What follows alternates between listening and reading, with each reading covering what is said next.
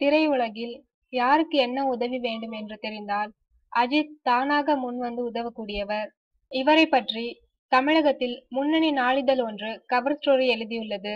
இதில் அஜித் படப்பிடிப்பில் எப்படி? என்று ஒரு பகுதியில் பல உணர்ச்சி பூர்வமான தகவல்களை கூறியுள்ளனர்.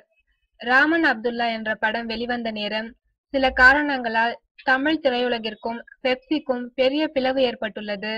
அந்த சமயத்தில் பெப்சிக்கு முதல் முதலாக குரல் கொடுத்தவர் அஜித் தானாம் இந்நிலையில் ஒரு பிரம்மாண்ட படத்தில் அஜித்தை ஹீரோவாக வைத்து ஒரு பிரபல தயாரிப்பாளர் தயாரிப்பதாக இருந்தது.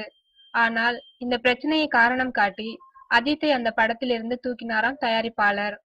பிறகு அதே தயாரிப்பாளர் பெரிய கஷ்டத்தில் இருக்கும் போது எந்த நடிகரும் அவருடைய தயாரிப்பில் நடிக்க முன்வராத போதும் அஜித் நான் நடிக்கிறேன் என்று தொடர்ந்து மூன்றாவது படம் நடித்து கொடுக்கிறார். அந்த தயாரிப்பாளர் யார் என்று நாங்கள் சொல்லி தெரிய வேண்டியதில்லை. அஜித் எந்த பிரச்சனைக்கும் அறிக்கை கொடுக்காமல் இருக்க இதுவும் ஒரு காரணமாக இருக்கலாம்.